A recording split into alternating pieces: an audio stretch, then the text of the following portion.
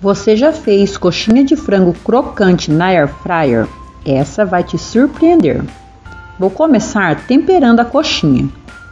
Um pouco de alho, sazon, pimenta calabresa, limão pepper, que combina bastante com carnes brancas, como peixe, carne de porco e frango. Fica muito bom. Vinagrete seco desidratado sal temperado a gosto.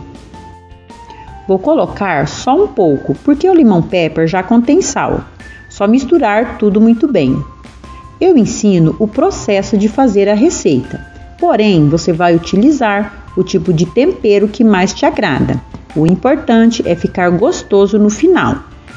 Pessoal, compartilhe o vídeo e deixe o like, porque isso ajuda muito o canal e me incentiva a trazer mais receitinhas e dicas como esta para vocês. É uma receitinha incrível e deixa a coxinha de frango super crocante. É só seguir o passo a passo que dá certinho. Vou esperar por 20 minutos para o tempero pegar melhor.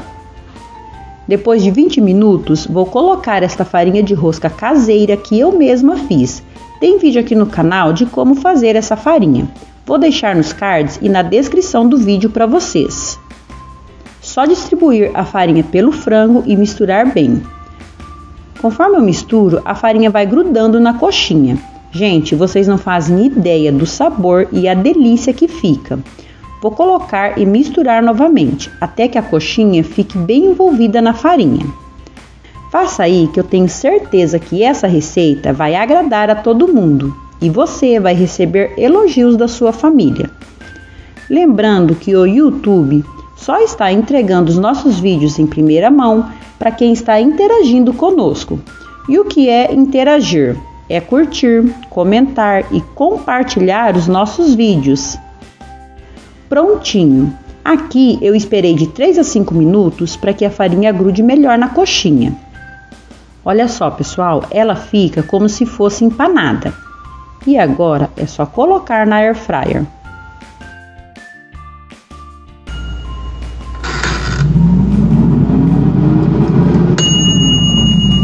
Eu aqueci por 5 minutos.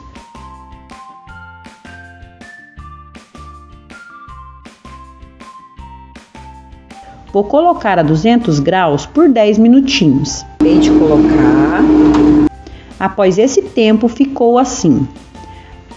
A própria pele da coxinha solta a gordura que envolve com a farinha, deixando bem crocante. Vou colocar por mais 10 minutinhos.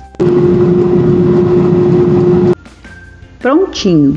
Perceba a crocância que está ficando. Olha o barulho que faz conforme eu mexo com a coxinha. Olha.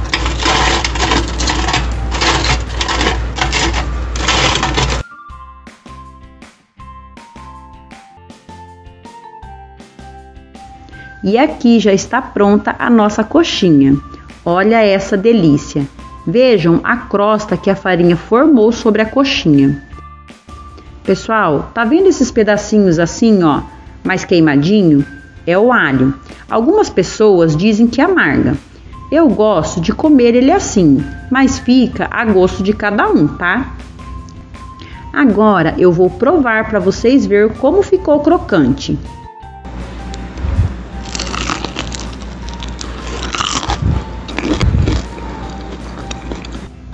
Hum, muito bom.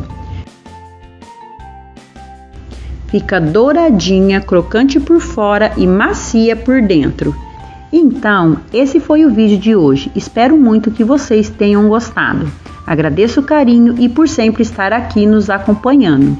Não se esqueça de se inscrever se ainda não for inscrito, compartilhe o vídeo e ative o sininho para receber mais dicas aqui do canal. Deixa aí o seu like e clique em gostei para fortalecer o nosso trabalho.